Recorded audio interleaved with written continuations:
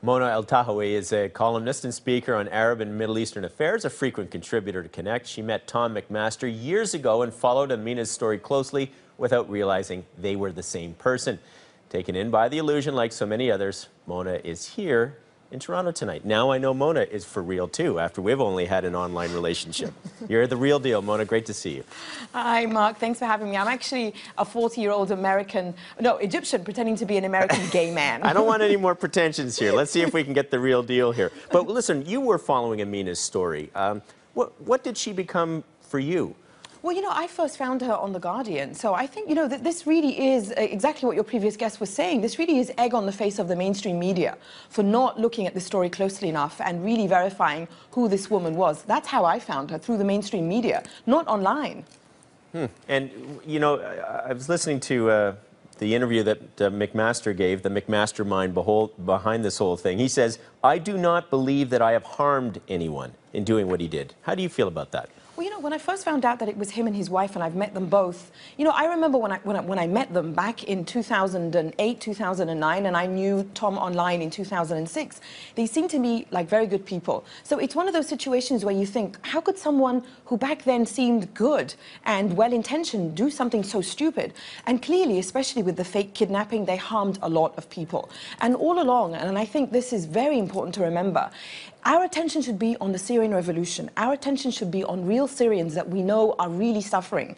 And, and the revolution in Syria is not about blogging. The revolution is about courage and feet on the ground. And we know, for example, that a 13-year-old Syrian boy called Hamza al-Khatib was really on the ground, courageously demonstrating against the Assad regime, and he paid with his life, and his body was mutilated. So I think the attention, this is the big lesson now, the attention should go on the real, courageous activists on the ground. There are many courageous online activists I personally know, but we must pay much more attention to verifying that they really are real because so much time was wasted on this Amina rubbish. It took attention away from where it belongs, the Syrian revolution. Well, you know, MacMaster, though, his argument is that he was doing this to draw attention to what was happening in Syria, to draw attention to the activists by creating this fictional character. So he would agree with you. He just chose different means to make a point. And I think what's also ironic in that is that, you know, the Syrians and most people I know in the Arabic blogosphere were not as obsessed with Amina as those outside of the Middle East and North Africa. So this is a lesson as well for those observing the revolutions and uprisings from outside. Because the Assad regime and so many other regimes keep the media out, people become desperate for sources of information. But it's absolutely imperative to understand that some of those people online, like Tom, I mean, this is really what he's damaged. I know many LGBT activists in the Middle East and many others who are courageous and speak out, but they need to remain anonymous for, for concerns for their life. And, and these are genuine concerns. And I think this is anonymity and how we use the internet is something that we're still learning about.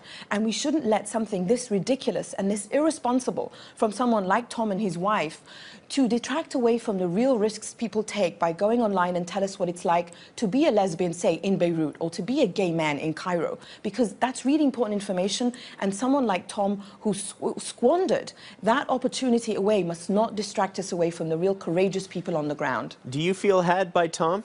You know, I did, honestly, I did not follow Gay Girl in Damascus a lot, but I did bring her up in conferences as an example of, of the many courageous Arab women who speak out and use the internet uh, to express themselves. Something similar happened in 2005 when, uh, when I found a blog called Saudi Girl. It was about a young Saudi woman, and two years later, it turned out it was written by a Saudi man who pretended he was a Saudi woman. So this kind of thing has happened and will continue to happen.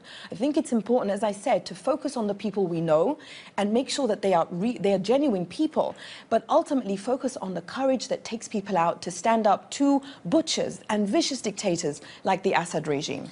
Mona, always great to get your views. Thanks so much for talking to us tonight. Thanks, Mark.